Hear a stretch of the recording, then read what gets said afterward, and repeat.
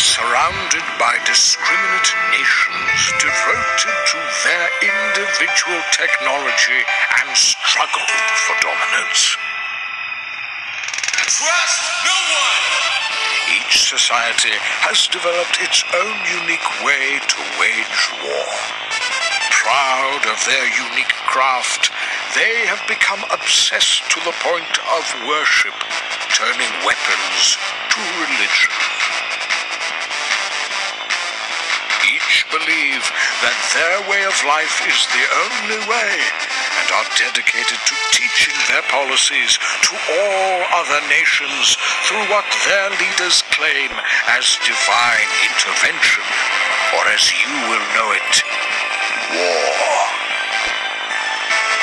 The others are known as Archidons, the way of the archer, Sword Wrath, the way of the sword, Magikill, the way of the mage, and Speartons, the way of the spear.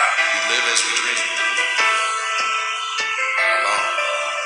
You are the leader of the nation called Order.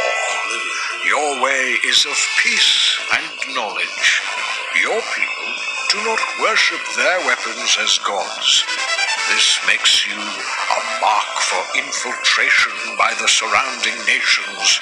Your only chance to defend is to attack first and obtain the technology from each nation along the way.